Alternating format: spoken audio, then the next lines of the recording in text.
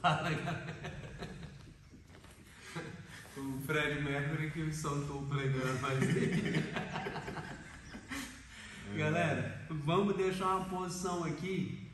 Cara, tem umas posições no jiu-jitsu que elas é fascinante. Fica ligado, eu não vou nem falar nada não. Chega pra cá. Vou estar aqui lutando com o cara. Dar uma saltadinha na gola um pouco. E vou segurar, não muito aqui não, porque eu vou transferir essa gola para outra mão, vou abraçar essa perna. Só que eu não vou, não vai ser uma tarefa fácil aqui eu chegar aqui, porque tem muito peso aqui, arrastar essa perna para cá. Então o que que eu faço? Pegada, puxo a pegada e puxo as pernas aqui, ó, que aí a, o peso sai da perna, tá? Então como que vai ser a posição? Vou estar aqui com o Natan, vou dar uma puxão, ó, e a mão vem para gola. Por isso que eu não pego muito alto, pego mais baixo. E a mão vem para a gola. Aqui eu quebrei a postura do Natan. Por causa dessa pegada, o Natan não volta mais. Não volta, que não volta. Não tem como voltar. Tá? Ele está bem desequilibrado. Vira um pouquinho. E é normal ele apoiar essa mão. Porque a hora que eu entro aqui, se ele não apoiar, ele cai. Então é normal ele apoiar a mão. Ele apoiou a mão, ó. Tô aqui com ele, ó. Pegada firme. Vou vir aqui, ó. Pode vir aqui, pode puxar aqui o que vocês acharem melhor, tá? Puxou, armlock tá pego. E é um armlock muito difícil de defender.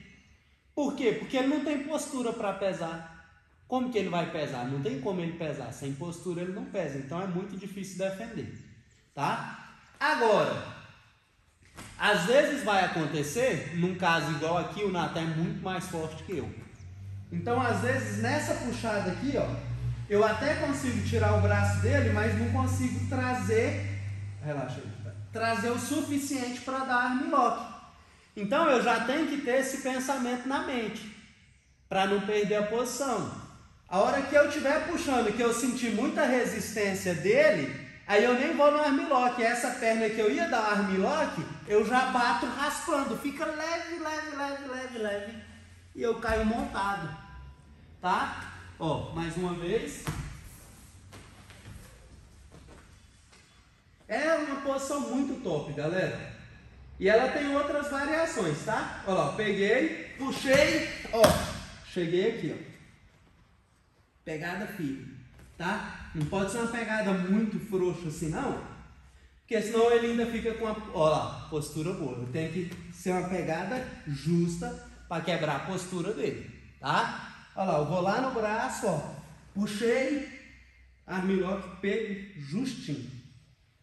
Agora, se na hora que eu puxar, eu encontrei muita resistência, a perna que eu estava subindo pro armlock, eu já bato, fazendo a raspagem tá? Fazendo a raspagem. Aí aqui eu largo a gola, tô montado.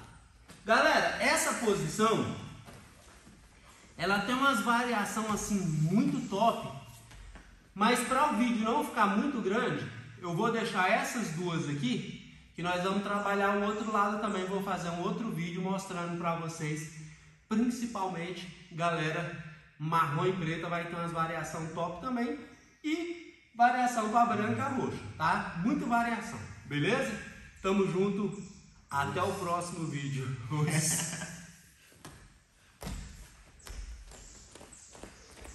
o cara, o Fred Mercury tá aqui.